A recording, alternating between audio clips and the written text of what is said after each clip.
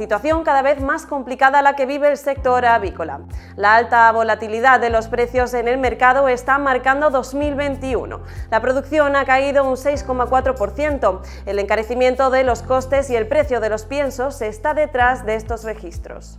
España, como segundo productor de carne de ave, representa el 14% del volumen de producción de la Unión Europea. La carne de pavo alcanzó las 139.464 toneladas. Desde enero a julio de 2020 se han producido 940.000 toneladas de carne de ave, una cifra que significa una reducción del 6,4% con respecto al año anterior. El encarecimiento de los costes de producción, como son los precios de los piensos y la electricidad, están detrás de esta caída unas cifras que reflejan una tendencia que se prevé se mantenga hasta el cierre del año.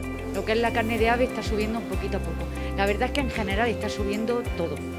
En el pavo y el pollo ha subido un poquito. El pollo que es lo único que nos comemos, que yo creo que todo el mundo pollo y pollo y pollo por las pechugas y todas esas cosas. Porque ahora con la subida del precio de la luz, pues todo está aumentando. No solo de la carne de ave, de la tenera, sobre todo del cordero, pero hay que darnos cuenta que los piensos están subiendo una barbaridad.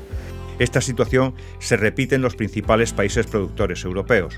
Polonia, primer productor con una cuota de mercado del 22%, sufre una caída en sus niveles de producción por la detección de varios brotes del virus de la influenza aviar. El Reino Unido sufre una caída de su producción del 3,6%. La falta de trabajadores en la cadena de producción avícola está detrás de este desplome. Se estima que escasean los trabajadores un 16% como consecuencia del Brexit y una limitación a la inmigración.